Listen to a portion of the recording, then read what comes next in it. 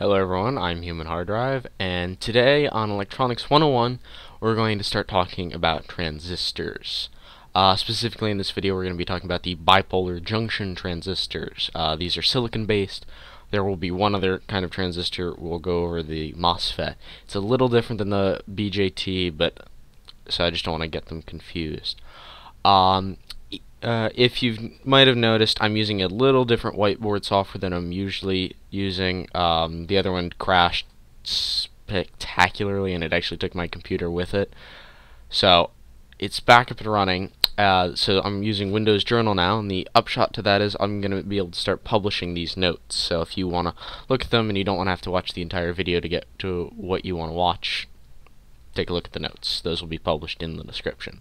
So let's talk about the transistor. Uh, last time we talked, we talked about diodes, and the transistors on that same level. Uh, it, you'll see that when we start talking about some of its behaviors. Now, there are two kinds of transistors, or two subsets of transistors you'll talk about. There's the NPN, and the schema uh, symbol for that is looks like this: the base, the collector, the emitter and then there's the P and P. And it the symbol's almost exactly the same it's just the arrow points in a different direction. It's labeled exactly the same way. Okay now a transistor like I said is silicon based if you know anything about silicon it's a metalloid it's uh, a semi-metal it has properties like metals in that it conducts current, and it has properties like those of nonmetals where it doesn't conduct current. And it's this behavior that lets us lets the transistor do what it does. Now normal silicon behaves the way I described, and it behaves that way under very specific circumstances. To get this to work, uh, silicon has to be doped with certain chemicals, and this is an NPN. So it's actually three layers of silicon doped with different chemicals. And those are N, P, and N chemicals. Oh, that's a terrible N. N chemicals are negative chemicals. They're chemicals that have an excess of electrons, where P chemicals are positive. They have an excess of holes, or places where electrons can go in and fill. So they're positive, negatives, extra, extra electrons. And it's that behavior, it's these things when they work in conjunction and you put current in certain places that they behave in certain ways. Okay. Now NPNs. Well, let me take a step back.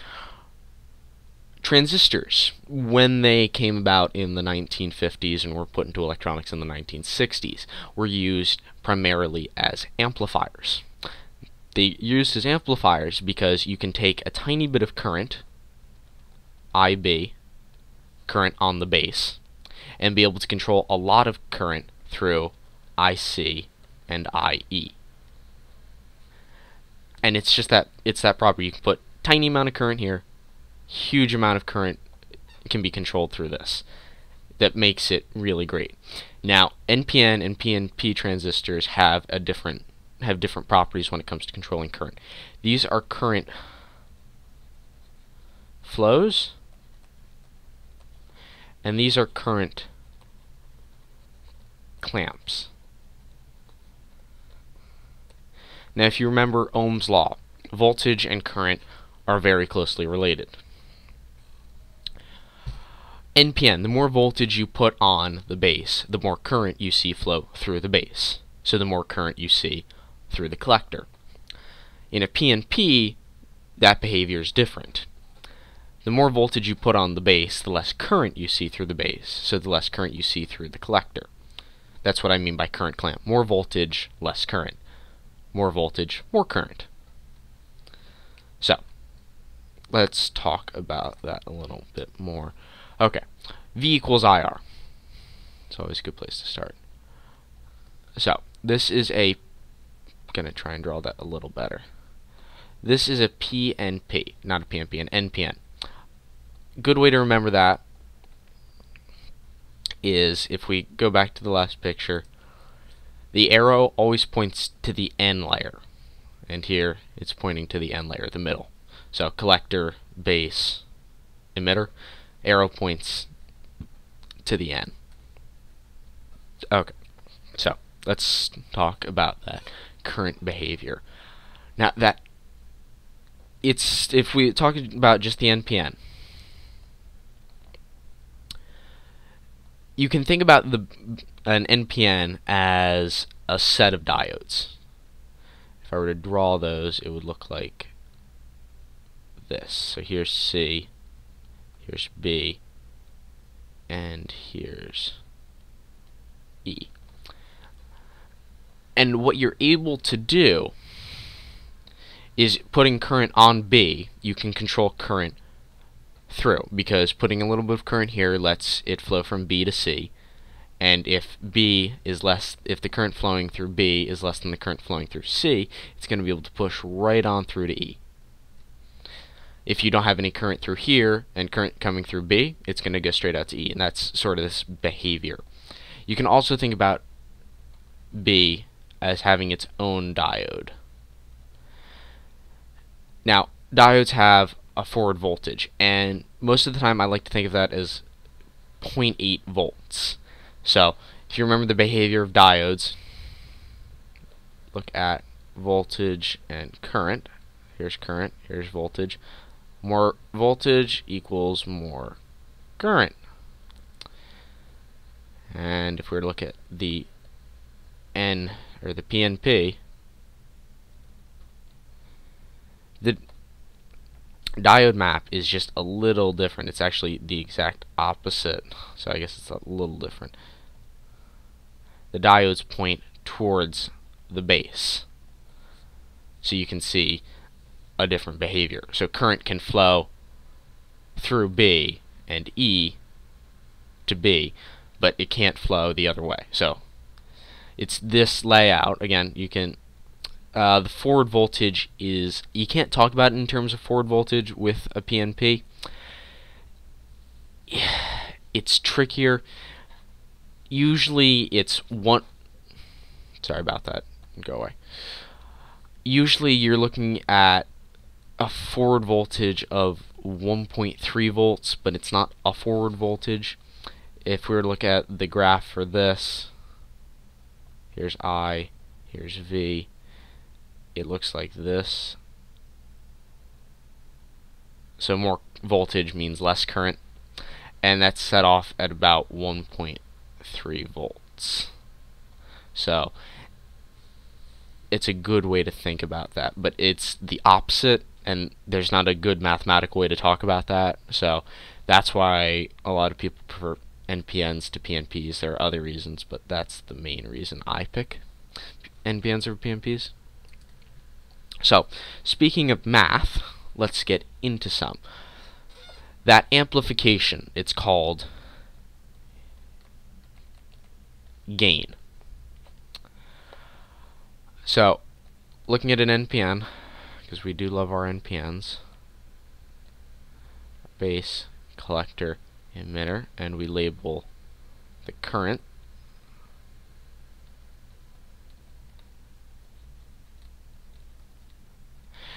gain is the ratio of one current to another current. So if you want to talk about the gain between the base and the collector, there's a specific name for that. That is, it's called a beta value. And that's the ratio of the current flowing through the collector to the current flowing through the base. This is also known as the HFE value or the VDC gain voltage. Uh, don't know why it's called those other two things. There's probably a specific reason for that, but I'm not going to be concerned. There's another thing called alpha, which uh, compares current flowing from the emitter to the collector and this is actually calculable from beta over beta plus 1. Now these are rough estimates because I talk about diode behavior. Diode behavior is tricky to model, so it's tricky to calculate. So these are just rough estimates, and most of the time it works out nicely if you're dealing with voltages well above the forward voltage for NPNs are well below the forward voltage for uh, PNPs. So you can kind of ignore that weird behavior, but it still takes an effect, as you'll see in this example. So, what do you use a transistor for? Well, let's say you have a motor you want to control, and you've got uh, an Arduino. Now, uh, leaving out all the extra stuff you'd need to be concerned with, like flyback diodes, regulations, regulators protecting it from shorting back into the device, let's just ignore that. You've got a motor. And that motor runs on 5 volts DC and it requires 1 amp. Now your microcontroller can source 5 volts from a pin DC, but only 500 milliamps, or 0.5 amp. So, what are you to do? Well, you also have a 5 volt DC supply. And let's assume that supply can source an unlimited current.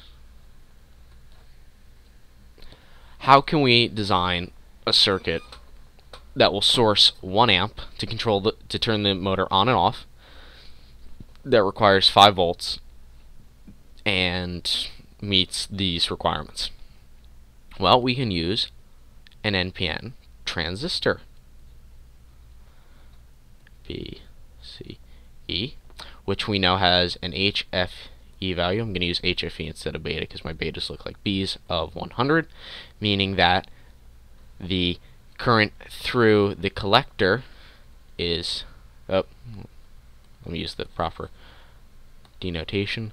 The current through the collector is 100 times the current through the base. And how are we, uh, so, and let's throw in one more formula, V equals IR. That's a B. V equals IR because in order to turn voltage into current, we need a resistor. So, let's go ahead and do some math. So,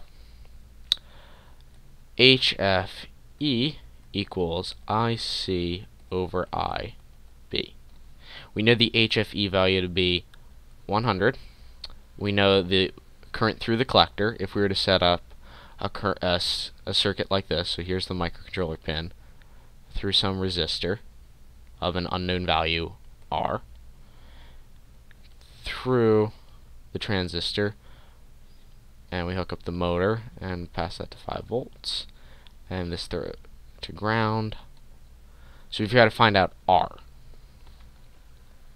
so we we need R to calculate the we need the current to calculate the resistance. Okay, so current through the collector has to be enough to drive the motor, or 1 amp, over IB. Shift that over, 100 IB equals 1. So IB equals 0 0.01 amp which is 10 milliamps, or more, or much less than the 0.5 amp the microcontroller pin can supply. So we're still good. We can do this. So let's calculate that resistance knowing this current. Go away. V equals I R. So the voltage that pin can supply is 5 volts. But remember it's a diode, so we've got to consider the forward voltage. This is where you've got to start toying around with things. So we assume it to have a forward voltage of 0.8 volts equals the current 0 0.01 times the resistance R. So this works out to 4.2 has to equal 0.01 R. Divide that over, and what do we get? 420 ohms resistor. and that's the resistor value you need to drive this circuit. So let's go ahead and open up a good old-fashioned analog circuit simulator.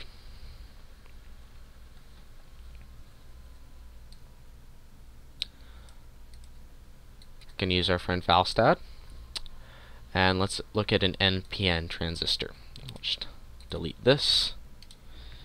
Input 5 volts, which is our supply. Oh. Put in a logic input of 5 volts. Make the circuit go crazy. And put in our calculated 420 ohm resistor. Okay, so we turn this on, and would you look at that? We get 1 amp to control it. So, eh, voila, we've controlled 1 amp using 5 volts and under less than half an amp to control it. So, everything works out perfectly. Okay. This is, if you watched my video on analog circuit simulators, this is a great circuit simulator. And this is also where you've got to learn to play around with some stuff. Because, whoop, froze there for a second. Calculating the forward voltage can be simulated in this by tweaking the voltage on this pin and the voltage through this pin and the resistor here. It can all be toyed around with to work out your um, what your what your actual circuit will do. So, learn how to play with this. It's good software to be able to play with transistors because this is where things get a little weird when it comes to their behavior. So, this is really it when it comes to transistors. This is really basic transistor stuff. When you start playing with transistors playing with transistors, things get weird because the gain values change and the beta or your HFE starts to get tweaked and you gotta consider those implications, which gets really mathy. That's where this software comes in great because you don't have to do the math out anymore. But again, this is just the basics. If you want to control a beefy motor, I really don't suggest actually using this to control a motor. Uh, a beefy LED, good way to do this. Uh, a relay that requires more than your pin can source, great.